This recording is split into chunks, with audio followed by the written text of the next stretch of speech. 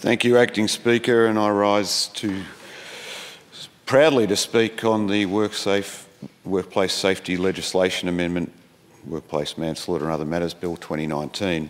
Um, and I'll start by thanking the Attorney General, uh, obviously for her work in this area.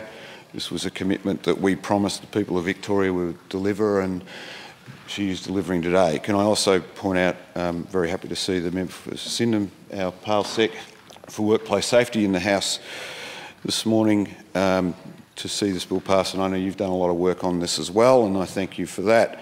Um, and we should, I should thank the Premier and the whole Cabinet really, because again, as an election commitment, this is something that I proudly told everyone during the campaign that this is something we would do. And wage theft is another one that I know is going to come not too distant future. And I think when uh, the member for Ringwood mentioned some of the debate yesterday from the other side um, in reference to, I, I believe it was uh, the community doesn't support this. Well, I can tell the House that the community that I spoke to in the election period and since do support this and do support this with very good reason because this bill is necessary. Um, I would like to thank the unions, the workers, the uh, health service personnel, everyone who is who's ever come into contact with this terrible uh, plight on our society of losing people for no good reason. Um, now, when I started to think about this bill, uh, I, uh, I, to think about how it would affect families. Obviously, I thought of my own family.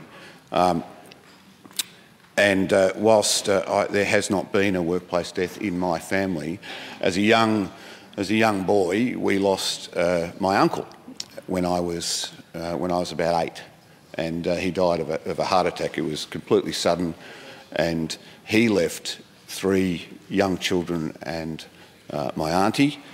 Uh, they were obviously devastated. His mother outlived her child, which I can't imagine as a father. Um, my mother, his sister, misses him to this day. Our whole extended family was rocked now, in that case, it was just a tragic heart attack that happened, and there's nothing you can do. Now, I think if you add to that a workplace accident, that may be nobody's fault. There is nothing you do. But I think that's worse.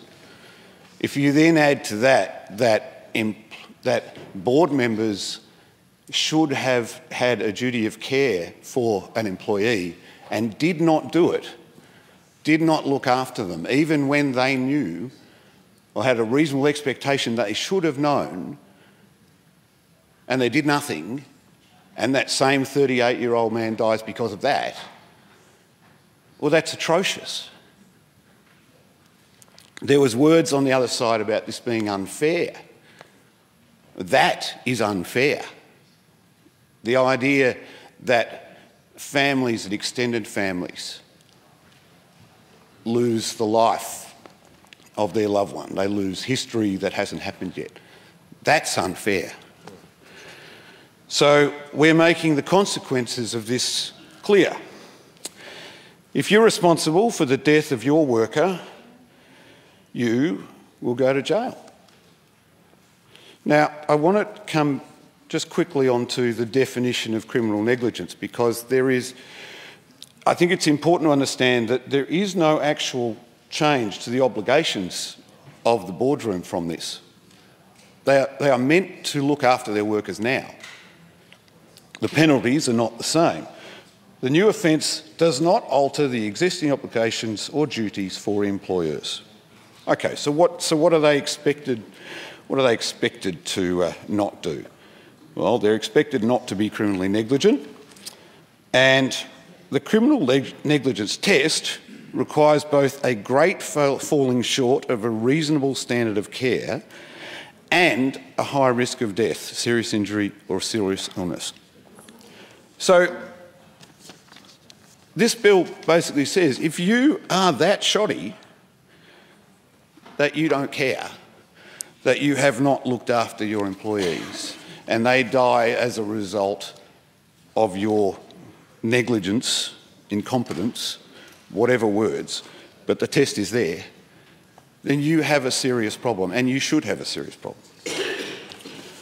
Um, I, have been a business owner myself, as I said before in this house, and I would argue that if you are considering costs versus the safety of your employers, employees, sorry, um, you are not running your business to level where you're being profitable anyway. If you're cutting corners, you should be out of business. You have to look after your employees. And that has to come first, because otherwise your business model is just stupid anyway. Um, I want to shout out to the Transport Working Union, who are a great union, and uh, I, I, uh, they were a client of mine for 20 years, and I looked after their IT, and I know they have been very active in regard to the preparation of this bill. And uh, I particularly want to acknowledge the Secretary of the TWU's, uh, Mr John Berger, as, and I want to thank him and all his members for their work for pushing for these laws. And to quote John, there are so many loopholes in the current arrangements and some bosses, through negligence, are killing workers and never seeing a day in court. These laws will help ensure the single most important thing to us as a union that each of our members arrive home safely to their families at the end of every shift. So I also did uh, work in my previous, uh, previous career uh, in regard to writing software for a racking company that checks racking. And I can say that most employers do everything they can to make their warehouses safe.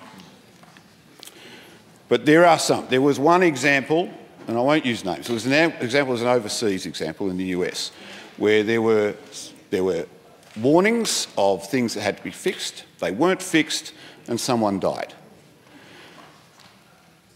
Even after a person had died, there was still discussion apparently in the boardroom of this overseas company that said, well, if we spend all that money to fix this, we won't get our bonus at the end of the year. I, I can't imagine how those people go home and look at their own kids and think that my kid's going to go work somewhere in a few years and I hope they're not as crappy as I am. It's, it's, it is unbelievable. So we promised that we would bring this law in and we are doing it. We promised to make workplace manslaughter an offence and it is happening. This proposed legislation delivers on our important election commitment, as I said, by creating this new criminal offence. So currently, 300 to 400,000 is about all you can expect to be fined for your business if you are criminally negligent. It's not enough. What we're heading towards is something significantly, significantly higher. Jail time, $16 million. This is adequate to send a message to the boardroom that you have to look after your people. Hang on. Hang on. You have to check your sites. You have to make sure that the void space has the appropriate safety equipment around it so that young people can come home to their families, older people can come home to their families, and so children can grow up knowing their parents. I commend the bill to the House.